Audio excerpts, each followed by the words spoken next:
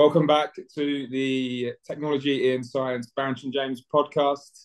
Uh, my name's Toby, and I am joined today with a very special guest. We are joined by Dave Saunders. Dave, pleasure to have you on today.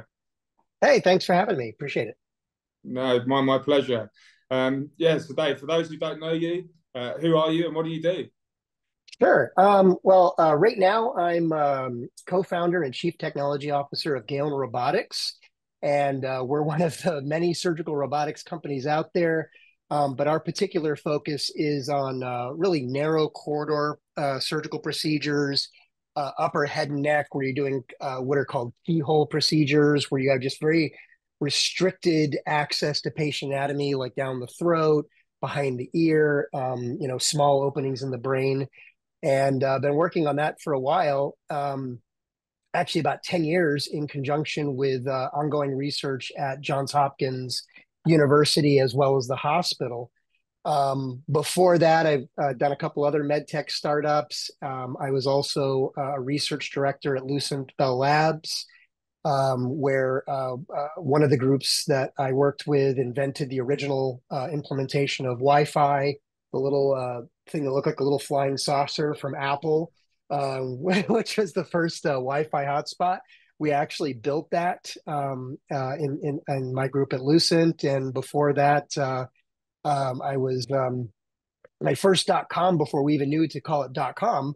Uh, we sold uh, we sold Telnet to defense contractors in the late '80s uh, as the first commercial developer for internet software for Macs and Windows. So I've been a nerd for a long time. I really love I, I, love technology, and most importantly, I love how technology enables people to do things that they've never done before. And that's that's always the the thing that gets me jazzed up and, and excited. Uh, amazing, yeah, really appreciate the the introduction. Uh, obviously, you said it yourself that you've been working in, in technology for a long time now. But when it comes to sort of the medical devices and surgical robotics, what was it that really inspired you to get involved with that? Yeah. um, you know, uh, I had been working on uh, another cloud company uh, back in like the like uh, 2010, and I got approached by a friend who was the CEO of another medical device company, and he told me there was a university that was working on some technology um, for uh, basically navigated uh, uh, total knee replacement surgery. Mm-hmm. And it was sort of like a handheld robot. And so we worked on that technology, formed a company around it. Um, uh, it ended up, we had inventor syndrome. So, uh, you know, sometimes companies blow up. Um, but uh, but learned a lot from it. And then as I was uh, leaving that uh, that company, um, I was approached by Johns Hopkins, uh, their technology ventures group that runs all their IP, and they said, um, uh, we, we know that you loved uh, commercialized technologies. I've actually taken over 40 products to market um, in my career from inception to to to market. So I I, I love developing new products. And uh, so they they said we've got some technology to take a look at. Do you know who Russell Taylor is? And I'm like, got his baseball card. Um, for for those that don't know, Russell Taylor is considered to be the father of surgical robotics. Um, he uh, was a, uh, a manager at um, uh, IBM. In fact, he uh, there are patents with his name on it for things like bit register shifts in CPU. So if you think about like really hardcore computer science technology, Russ is actually the father of some of that too. Um, but he's also uh, the guy who really began to evangelize uh, the early use of medical devices uh, with embedded software, worked with SRI International, created what became the Da Vinci, implemented some of the key features that really make that a safe device for doing abdominal laparoscopic surgery. And in the 90s, he was recruited to Johns Hopkins and continued to, uh, he's got about 20 professors under him working on all kinds of robotics, medical robotics research. And so he had this one project that he wanted to show us and it was driven by um, basically neurosurgeons and otolaryngology surgeons at the hospital who were just like, look, there are all these robots on the market, but we don't have one. We're the ones who are doing microsurgery, sometimes with instruments that are 30 centimeters long, and we're holding them back here. and then there's like a cutting tip or a forceps at the 30 centimeters away and we're doing microsurgery on people's vocal cords and in their middle ears and in their brain and up their sinuses and resecting pituitary glands. You know our heartbeat actually flicks the end of the instrument limiting our dexterity. Why don't we have robotic technology? And so that was the inspiration that created um, this robot that we started working on. And so we we signed a license we formed a company and um, we went through uh, about three uh, major prototype revisions, and then this past July we got our FDA clearance for de novo um, uh, for this robot, making it the first um, cooperatively controlled microsurgical robotic assistant um, in the world, which is pretty cool. And um, I have the I have the privilege of continuing to work with surgeons and researchers at Johns Hopkins who are just constantly motivated to be just looking at new ways to apply technology to move the line on either technology itself or clinical applications to reach into those surgeries that five years ago would have been science fiction. And they want to make science fiction surgeries reality. And so we're not just talking about like adults with upper head and neck, but we're talking about even mm-hmm. like fetuses still in the womb having surgery done on a 25 week old fetus to correct, in some cases, incredibly debilitating, life threatening conditions, um, uh, birth defects, things like that. Imagine the the conditions for doing surgery on a fetus that's still in the womb. Every bit of technology that you can bring to bear is going to turn that into a miracle surgery and ensure a consistent and predictive outcome. And that's really what surgical robotics is all about. And it's just it's so much fun to me and it's like um, yeah, when we were approached uh, by it and when we got to to see it and and the opportunity working with Johns Hopkins, it was like, well, how could I say no? It was it was definitely a labor of love. Ah, amazing! Yeah, you can you can tell by just your, your passion for, for the industry. It's uh, yeah, amazing to see. Uh, one thing you mentioned there was getting to work with sort of the researchers at John Hopkins. Just how important do you think it is um, to actually collaborate with not, not just sort of uh, universities and research institutions, but also hospitals and clinicians. It's it's absolutely critical. Um, you know, I, I, think of like um, you know, uh, I'm in Baltimore, Maryland, and uh, we have a relationship with the Midlands, and so often we've gone out there to to take a look at where the MRI was invented, right? And yeah. so what what what what did it take to make something like that possible? Not only a, a huge group of just you know over the top nerds that are going to develop technology that you know made you go that can't be real right? But you also had clinicians that could explain no this is why a ct scan isn't good enough. This is why cutting the patient isn't good enough. We need to be able to see this kind of imagery inside the body in real time.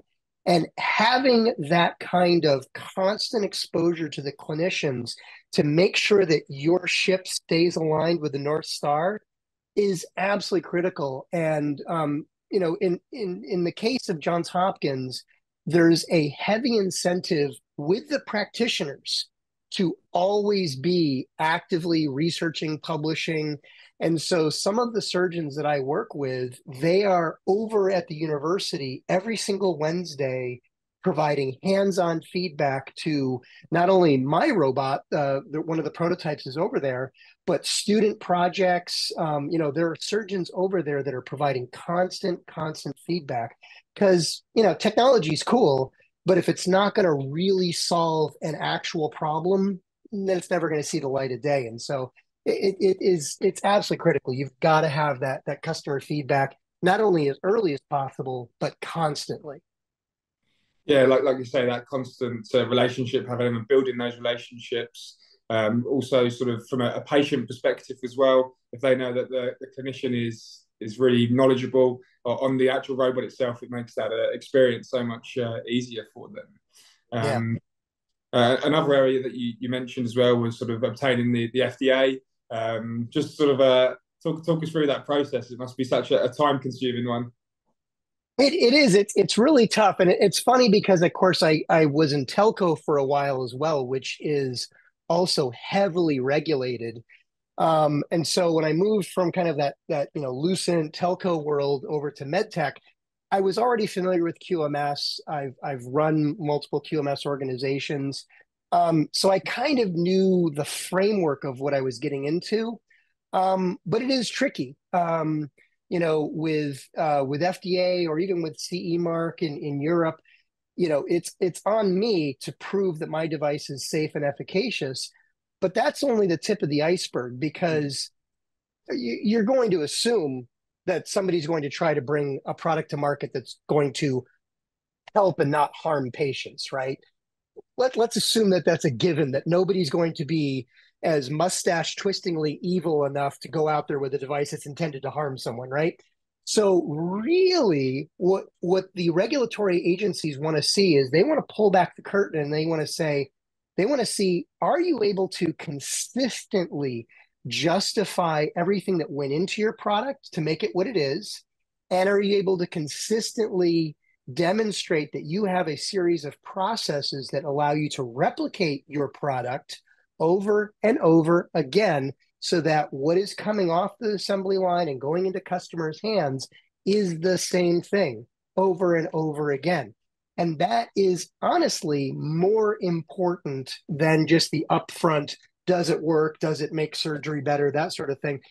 That that really is actually assumed to be more or less a given. I mean, we had to provide plenty of data to get our clearance on that regard as well. Um, but but the real thing that I think is is the is the is the big hammer that the FDA holds is that at some point you will get audited and they will come in and they're and what they're going to look for is they're going to look at your records your design history files your design history records and they're going to look at what are your standard operating procedures.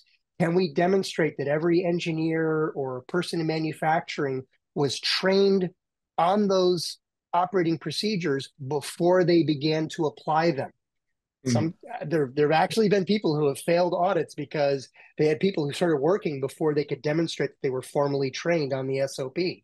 And that's a big no-no. And so it's that kind of scrutiny that's really going to come to bear to make sure that you are a actual functioning quality driven organization.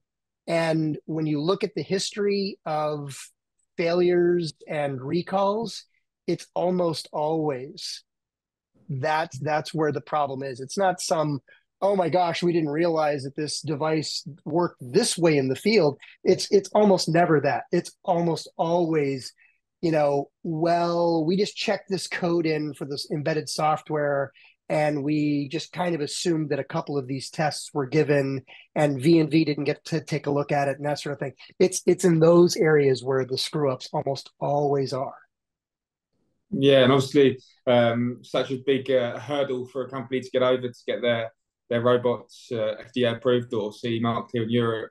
Um, would you say that's probably the biggest challenge that uh, companies face in trying to actually uh, make a successful robot? It is. It's a it's a lot of work. You know, um, we obviously because of our close relationship with Johns Hopkins, we we had a, a very seasoned senior staff, but we also wanted to hire a lot of these graduates that were coming up through Dr. Russell Taylor's group at Johns Hopkins. These are people who knew the robot as students, the prototypes anyway. They're well trained, but not necessarily job ready, right? Yeah. and so we brought them into the organization and we had to teach them those those aspects of the job and they're very important to have and so um, they would be a bit of a struggle. You know, if you, I don't know if you've ever done computer coding on your own or anything like that, but where where do you get started? I mean, even take take computer coding out of it. Just think about writing a letter. Do you yeah. sit there like if you're going to write a letter to grandma? Do you sit there and actually write a proper outline and then then go a little bit deeper in your outline and then write your abstract statement for grandma? You know, do you go through those formal processes of writing like you would for a research paper? Probably not. And the average computer programmer, especially the self taught ones, and that's the majority these days, they just dive in and start hammering out code. Oh, it kind of yeah. works. Write some more. Ooh, eh, it still works. Everything's, and they don't go through this formal process of actually saying, this is what I intended to do. This is the logic this code is going to follow through. And so they end up not having that foundation of being able to demonstrate this is what the code was supposed to do in the first place, right? It just kind of grows organically. And hardware can do the same thing. It's real easy for a, a, a master's or a PhD in engineering to pop open a McMaster's catalog. You see, mm. uh, oh, hey, here's the linear actuators, and oh, here's a couple. Oh, these motors look like they're the right spec, and you just order a bunch of parts, extrusion rail. Next thing you know, you've got you know ninety percent of a functioning device. Everything moves around like it's supposed to. How close are you really? right and so it's it's really learning that discipline but also learning that that discipline doesn't take away creativity it doesn't take away your ability to be a good engineer. In fact if you learn how to do those processes correctly they actually make you a better engineer. They make you a more creative engineer. Mm. and you, you'll you, you invariably will see younger and less experienced engineers struggle and in some cases fight um, following those processes. And then they just they hit this little weird inflection point and then suddenly everything clicks in their head and they go oh that actually does make everything easier but yeah. it's it's you know if if only you could just put that inflection book in, or that inflection point in a textbook and just convince them of it early enough on but they ha- they have to like get it in their head and just something suddenly clicks and then they're like oh and it's very gratifying to see you know, people who were brand new hires, their first ever job, they came into Galen and now they're running entire teams and you see them actually teaching elements of QMS systems to other new hires and you can see that they get it. And it's it's a great it's a great thing to see. Yeah, no, it sounds it sounds extremely rewarding. Um, guess uh, one thing you mentioned in there was sort of code and, and software obviously we're in uh, sort of the AI revolution, so to speak, at, the moment. Just how important do you think AI is when it comes to surgical robots, and uh, obviously not just now, but for the future as well? Um, in the future, I can see it really uh, being beneficial. Here's the problem today. I go to Chat GTP and I can do some amazing things. In fact, I've I've actually just as a personal challenge at home, I'll occasionally come up with like stupid pet trick ideas. And I'll be like, okay, I'm only going to let ChatGTP write the code to do this. So, just for example, um, in my calendar, I had all these birthday items that were set to busy for some reason. So they're all day events, but they're set to busy. And they're screwing up my time blocking software because it tries to automatically schedule events for a particular day that it thinks is is busy because of a birthday. So I went to ChatGTP and I said, write me a script that can go through the Google API, go through every single all day event. And if it is a birthday and if it is busy, set it to free. And it took about five iterations to work the bugs out, but I never wrote a single line of code. ChatGTP eventually gave me a fully working uh, uh, app that ran through the Google API. It even told me how to set up the Google API in case I didn't know. And the whole thing ran successfully. And that is amazing. And there's a lot of tasks where those things can be done. Now, the downside is those are tasks that you would usually give the junior programmers to cut their teeth on. So mm. if that stuff becomes super easy for a GPT, how do you become a good programmer if all of those little nerdy tasks get taken away from you. So that's that's another problem. But when we then start to look at what surgical robotics need to do, um, we start to deal with kinematics and we start to deal with really complex math. Um, my robot, instead of being something called a serial arm, which is a, a many jointed arm, um, and mm-hmm. so that's the serial part, um, my robot is based on something called a delta, which actually has multiple motors running in parallel to move um, the robot arm itself. And so the kinematic um, math is actually quite different than what you would use uh, with a serial arm. And so there are multiple parameters that you have to understand the, the pitch of the linear actuators, the torque of the motor, all this kind of stuff you have to have an understanding of to write the code for. I don't know how to describe that kind of stuff to a GPT today, right? Now, we're five years from now, shit, uh, sorry, um, a year from now, um, who knows? I mean, we might see. Um, I, in fact, I've re- been reading articles recently about one of the scary things about GPTs is they're starting to actually get good at math.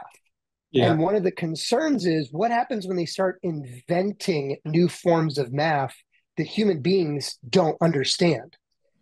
And will it be able to invent new forms of cryptography? I mean, this is how Skynet happens, right?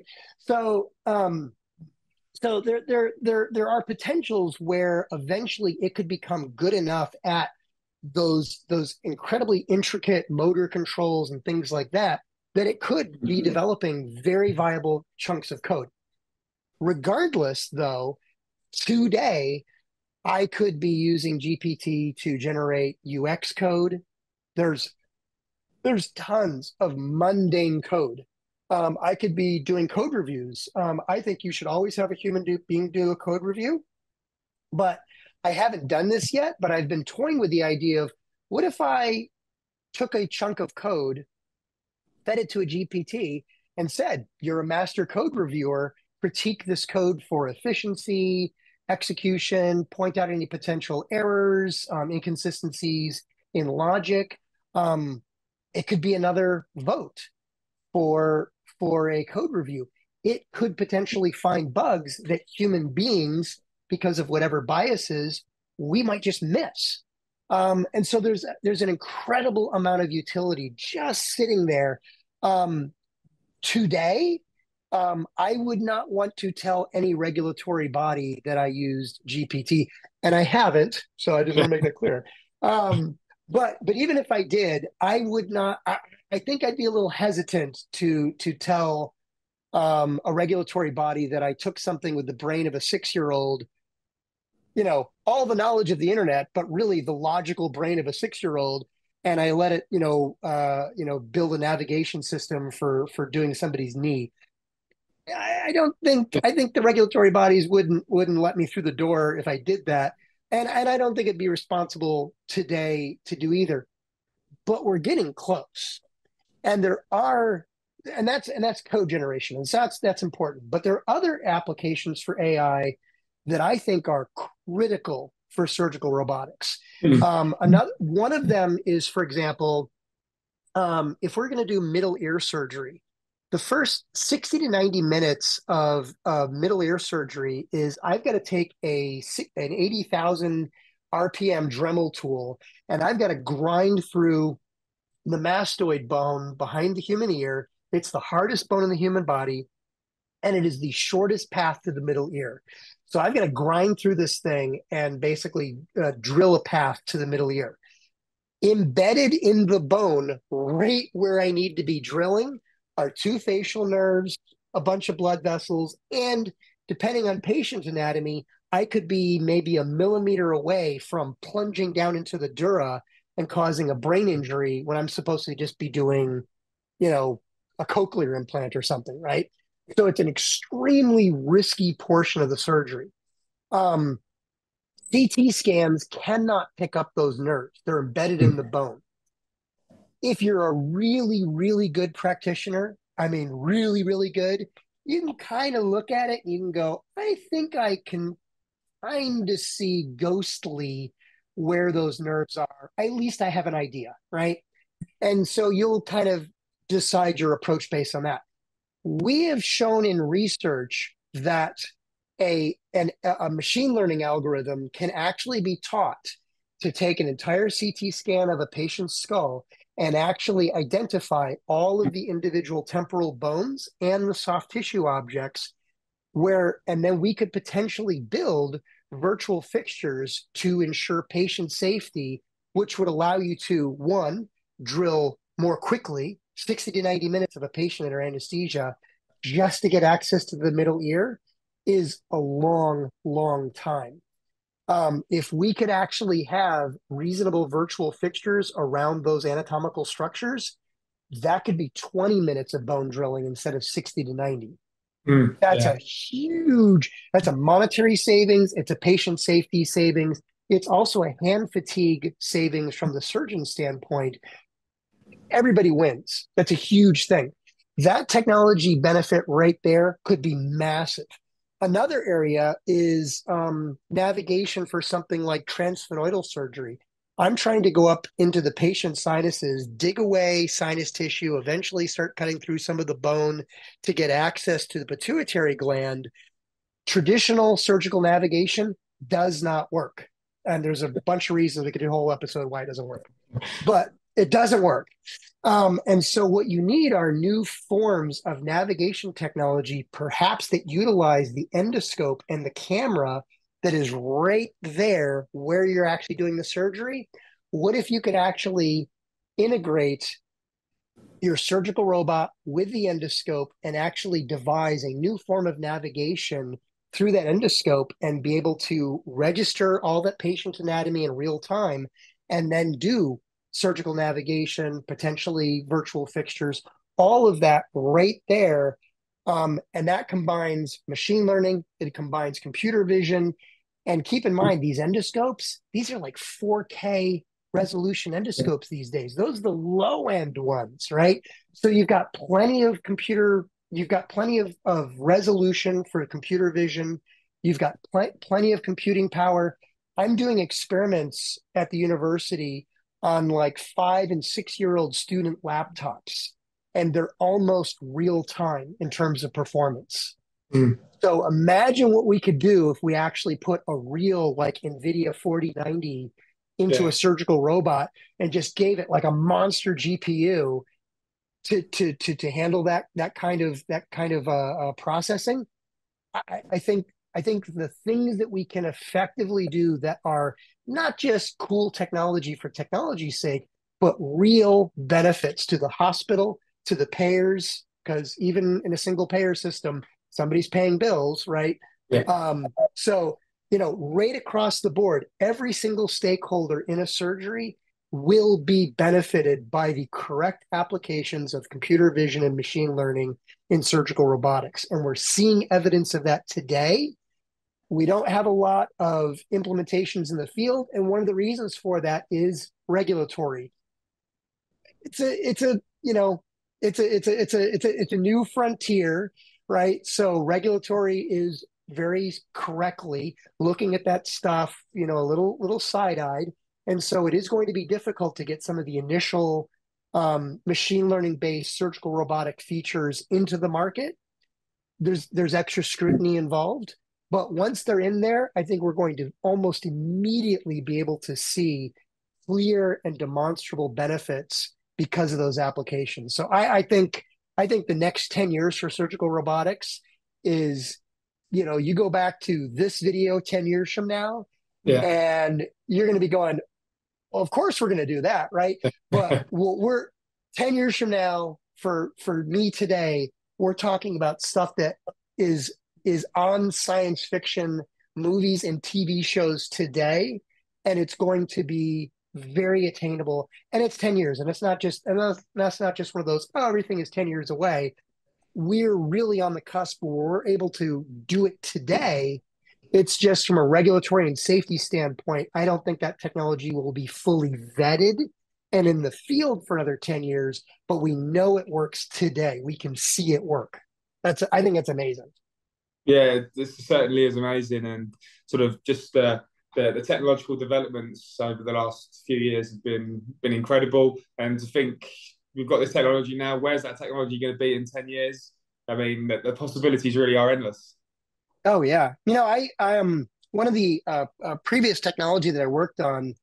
Um, we we took a Stryker um, sagittal saw for for doing knees, and we mounted a navigation system, a mobile platform navigation system to the sagittal saw.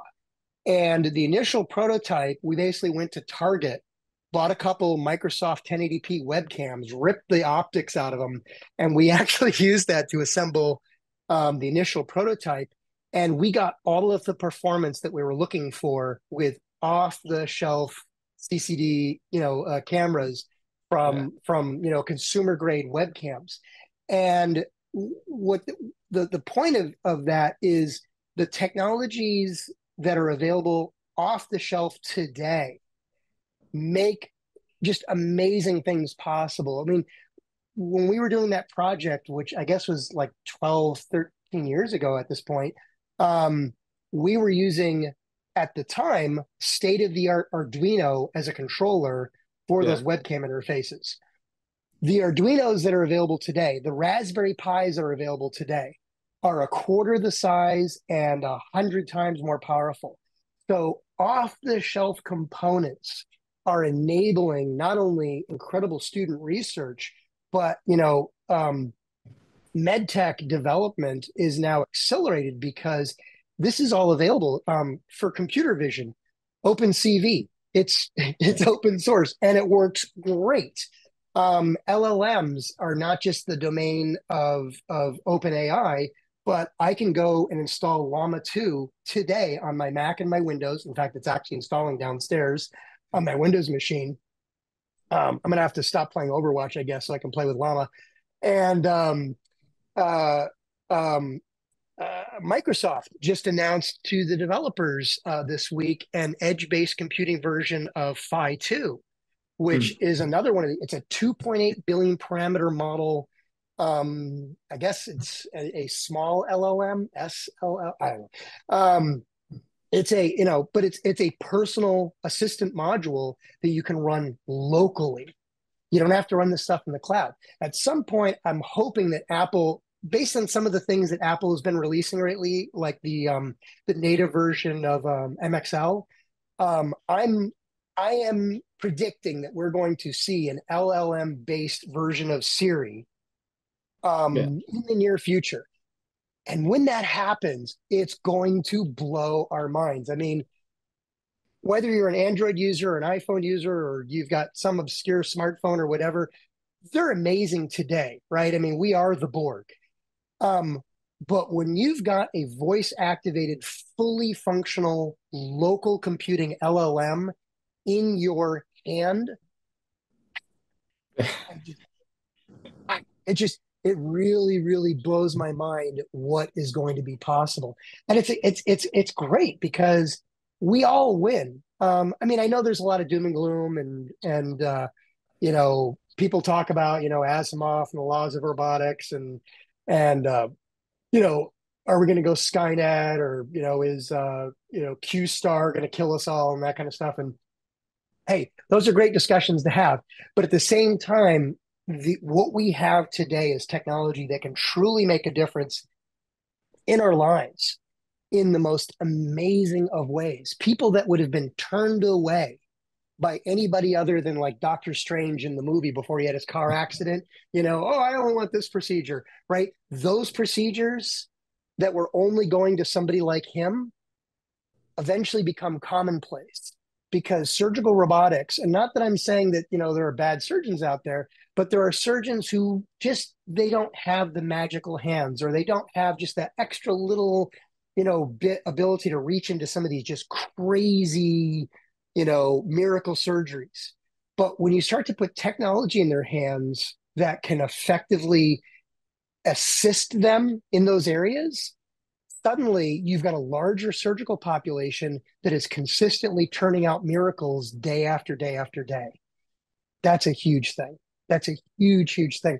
And that's and that's and that's my and that's my driver. You know, when I look at this kind of technology, it's really about I want to see this true democratization of med tech and surgical robotic technologies. I truly want to see technology merge with humans. I don't believe that robots should be replacing humans. If I'm, I'm not one of those guys.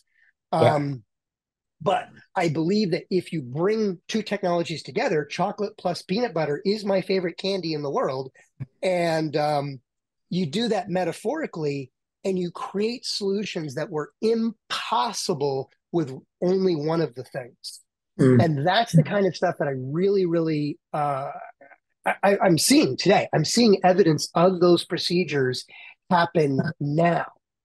And and, the, and it's really mind-boggling to think that in you know five to ten years we're going to have well we're already seeing this with the Da Vinci right yeah the uh, pros- the nerve sparing prostatectomy um, I know CMR is is a is a a big uh, yeah. uh, uh, provider of that procedure as well.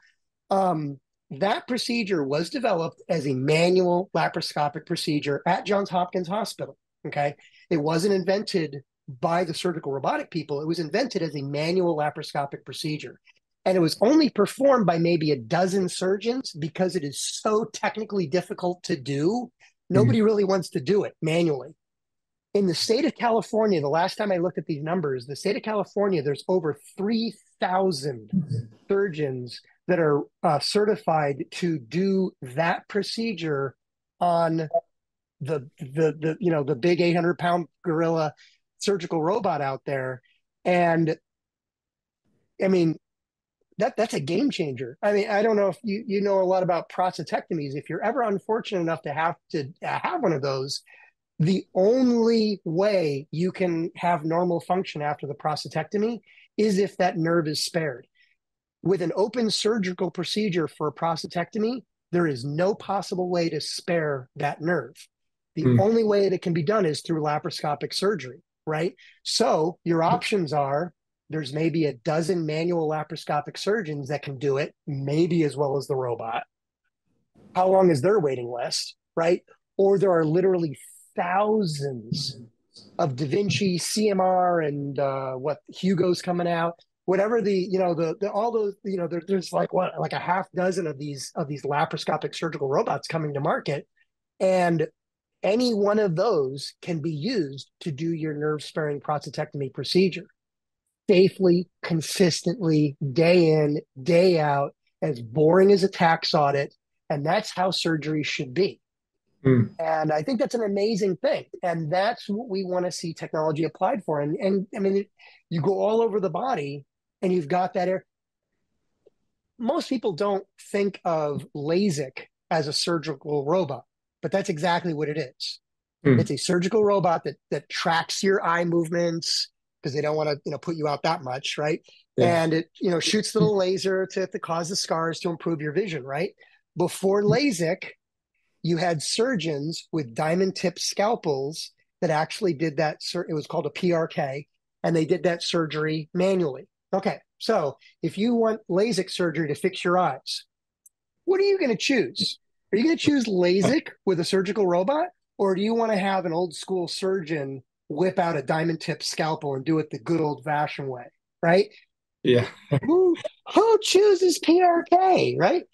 I'm, I'm sure somebody out there still does. There, there could be medical reasons why LASIK can't do it in some cases, but 99% of the people around the world are choosing LASIK.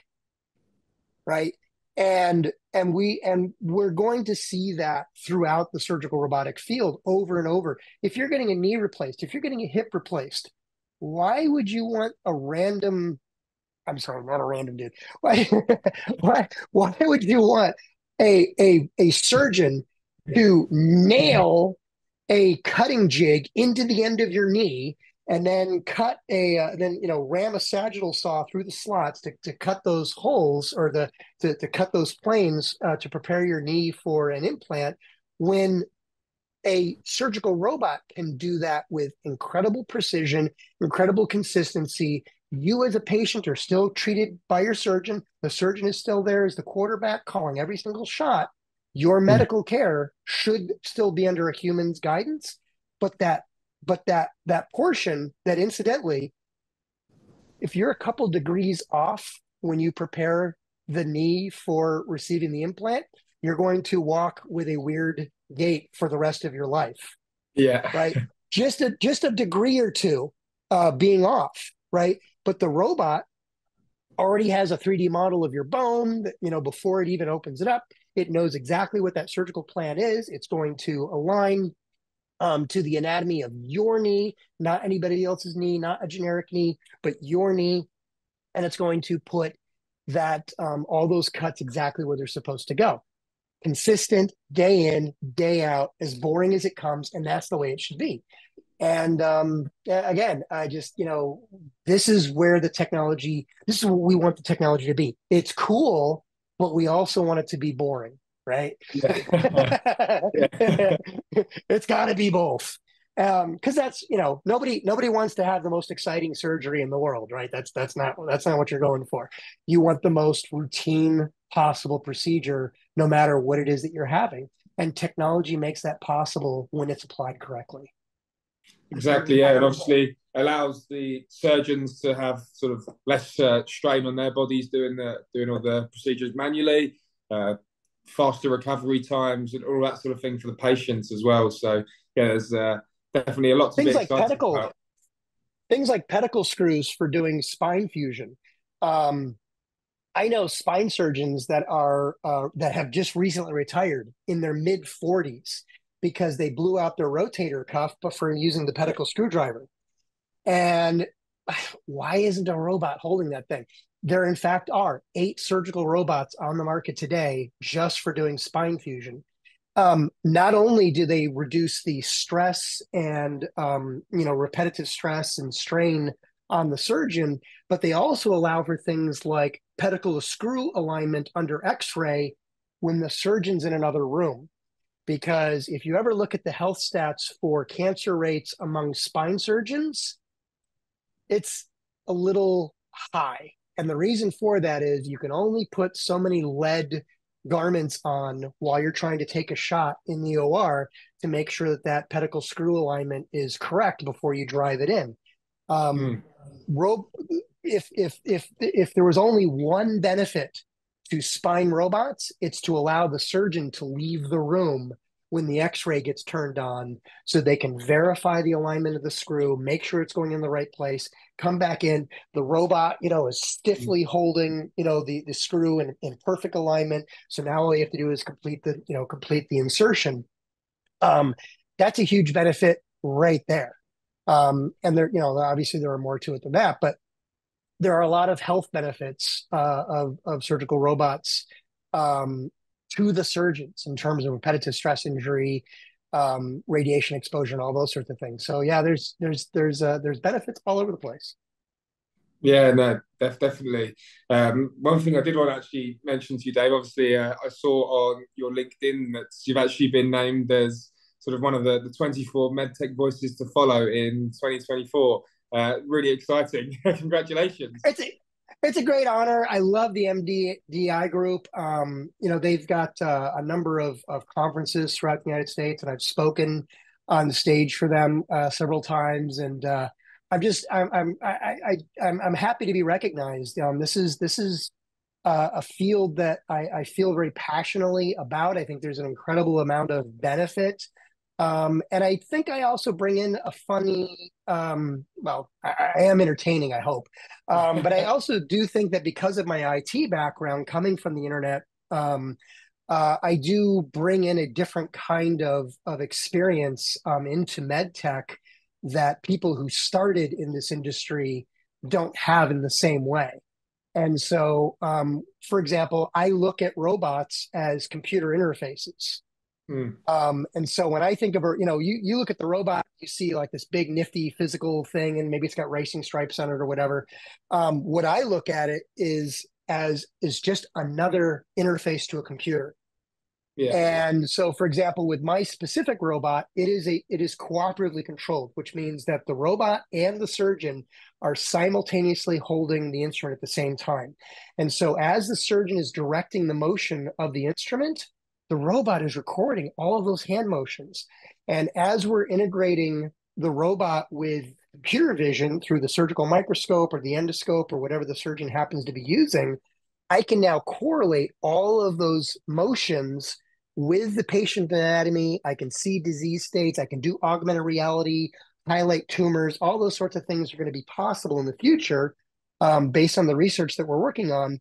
But all of that is is is is because you have this direct interface to the computer that's inside the robot and the robot is basically providing that that interface. And when you look at it that way instead of just the robot being this mechanical thing that does some particular kind of surgery it really opens up the whole notion of why data collection and big data and hmm. machine learning are such incredible opportunities in medtech because these devices are right there where the practitioner and the patient are, and they're collecting data in a time zero fashion that has never been collected before. I mean, you think about like how did people learn surgeries 100 years ago? You sat in the theater, you know, yeah. around the OR and you watched. And your ability to learn was based on, you know, the, the acuity of your vision and whether or not you had a good seat, right? and now we have this ability to, I can actually record the hand motions of a surgeon. I can actually compare the efficiency of hand motion between two surgeons and I can actually play those things back. Um, I can take a CT scan of a patient's skull and I can do a trial run of a mastoidectomy or any type of craniotomy, and I can actually allow the surgeon um, to actually feel resistance through the robot and actually get that feel. Um, you can only find so many cadavers with a particular kind of disease state to mm. train surgeons on and and if it's and if it involves bone cutting well that only gets done once but when, as i start to build a library of patient data and disease data in the robot i now have the ability to train and simulate and and replay and grade um, surgical performance and that opens all kinds of crazy doors yeah, no, amazing, and uh, you definitely have been entertaining, Dave. Thanks. It's, uh, I really, really appreciate all the knowledge that uh, sort of you, you've brought to the podcast here today. Um, I guess the future, what does it look like for yourself and also for, for Galen Robotics? Um, well, uh, we got our first clearance in July, and now we're looking to expand uh, the uses of the surgical robot. It was designed to hold a variety of instruments, so we're looking at um, applications uh, for otology, neurosurgery, spine surgery, um, mm-hmm. fetal surgery, even cardiothoracic. Um, it sounds like a lot, but you know, as I was mentioning earlier, there are a lot of procedures where you just have one single incision and all of your instruments are really long and they're all going right through that one incision. And those kinds of procedures are all over the body and they're not laparoscopic procedures. And so they don't really lend themselves well to those laparoscopic robots. They require a different set of requirements. And I think uh, this robot really uniquely um, follows that. So, um, a lot of cool applications for Galen, um, but I also am really looking forward to um, driving and influencing a lot of research um, here with Johns Hopkins um, to see where we can really take computer vision and machine learning mm-hmm. and really um, develop the next level of surgical techniques and surgical approaches and, and really begin to change things. Amazing. I'm sure you'll be very successful in, in that and that the, uh, that the robot that you're working on will become sort of a, uh, a, mainstream uh, mainstream robot for the surgeons. Um, so, look, Dave, if, if, people want to learn a little bit more about Galen Robotics, where would be best for them to, to find out? Uh, the website is galenrobotics.com. And of course, anybody is welcome to follow me on LinkedIn. Um, let's see, it's linkedin.com slash IN slash Nemock, N E M O C K. And uh, so I'm I'm always out there and posting. So uh, feel free to drop by and say hi.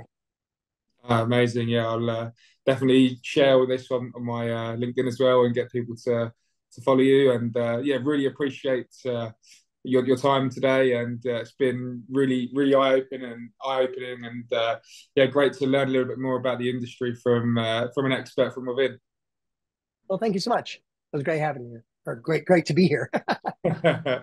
Well, look, Dave. have a, a great uh, rest of the year and uh, a good Christmas period and uh, yeah, looking forward to uh, hopefully catching up again soon. You bet. You too. Excellent. Well, that's it for another episode of the Barrington right. James Technology and Science podcast. Thank you all for listening and looking forward to seeing you next time.